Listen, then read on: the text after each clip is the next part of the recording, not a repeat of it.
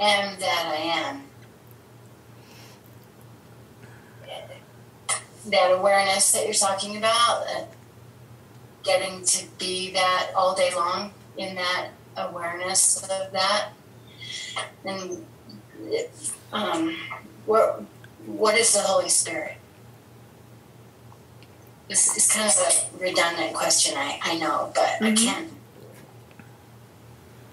And my little mind wants to put it into something. Oh, it's a good question. Mm-hmm. Yeah, yeah, very good. It's a good question. The Holy Spirit is the bridge to knowing I am that I am consistently. So you could say the Holy Spirit is the stepping stone or the bridge.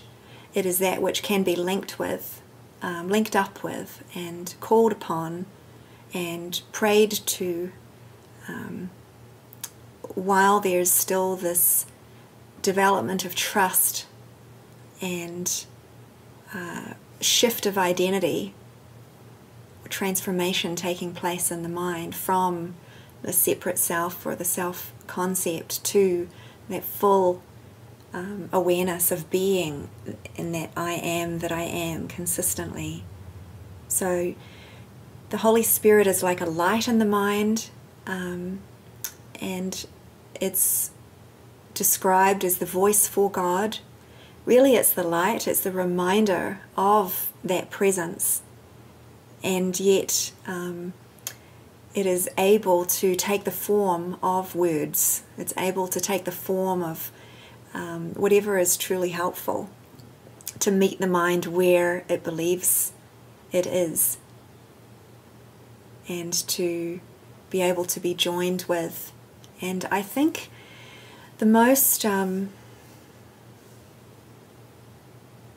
important function that the Holy Spirit has is that it is a helper the Holy Spirit is the helper. He is, you would say, a direct communication. Um, of a reference point that is beyond this world. Because in some um, spiritualities, there where there isn't the sense of the helper or the guide, then there is just the sense of the ego and awareness or the I am presence with nothing in between. But with A Course in Miracles, um, in this sense, it's quite unique in that Jesus is always pointing to the Holy Spirit as being the guide. He's always saying, Ask the Holy Spirit. The Holy Spirit will give you what you need, the Holy Spirit will give you the words you know, and the thoughts and remove the obstacles. So the Holy Spirit, in that sense, is a ver- is just a light in the mind, but in, it's you could imagine it to be a really helpful friend who knows, you know, is the one who knows, and so everything that's confusing can be offered over to the Holy Spirit, and then His help can be relied upon, you know, in a practical way to show the way, as opposed to just saying I want to be in awareness, and you're either in it or you're not, you know, but there's nothing really in between. Whereas the Holy Spirit is like this in between bridge that is very, very supportive while this tra- transformation is taking place.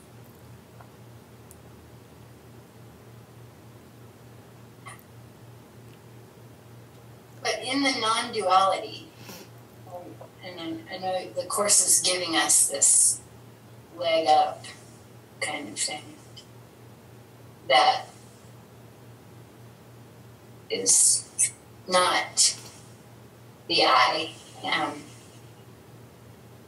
maybe I'm overthinking it. Maybe I just I don't understand. It's fictitious, right? It's actually just that greater self, that higher self that is this entire world is fictitious, you could say. And so, what is real? You know, what is real? What is of value? What, what is actually going to help the mind um, shift from it all being fictitious to knowing knowing reality. And so you could say that it's all concepts in that sense, and yet what is meaningful and what is of value is what will um, support the awakening in a very clear way. And in that sense, the Holy Spirit is not fictitious. The Holy Spirit is a solid, valuable, meaningful source of help to a mind that is completely disillusioned and delusional to be identifying as a separate self in this world. And so, in that sense, valuing the Holy Spirit as a source of help and as one to turn to rather than relying on one's own self is very, very important because one's own self can just start to develop another self concept, a spiritual self concept, uh, you know, a more advanced self concept, a better whatever self concept. Whereas the Holy Spirit is, is more one that can be turned to in humbleness. Uh, when you're actually turning to a source of support, you're admitting to yourself, I need help. You know?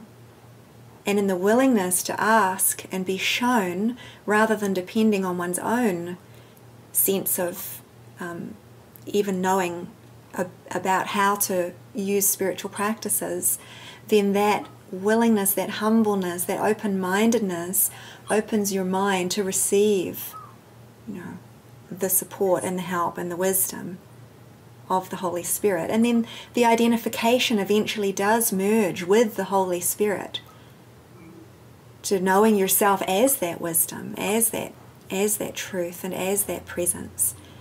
But the journey is very much about bringing the illusions to the truth, including the self concept.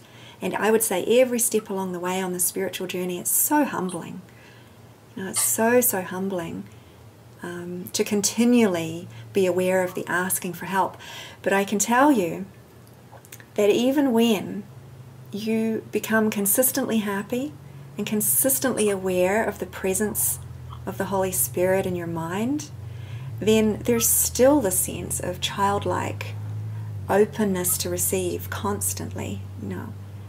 So it's not as if even the direction of that willing to be humbleness ever changes.